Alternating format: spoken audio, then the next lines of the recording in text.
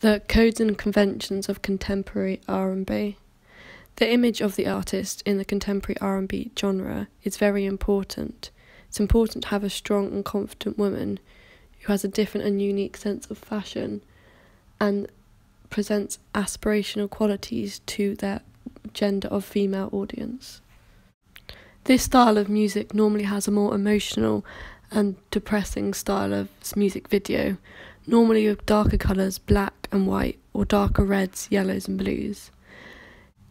The fashion and locations which are normally used in contemporary R&B are normally something a bit different. Locations are normally plain and simple, normally a white background or in a kitchen or some fashion is normally something which is a little more like skate or skatewear for girls which is a bit unique and isn't as sexualized and is something which the target audience will like and be interested in. And this will create synergy between the fashion and the target audience. To conclude, the simple codes and conventions of contemporary R&B are the music videos normally have strong facial expressions and emotion which is shown through the lyrics in a painful way.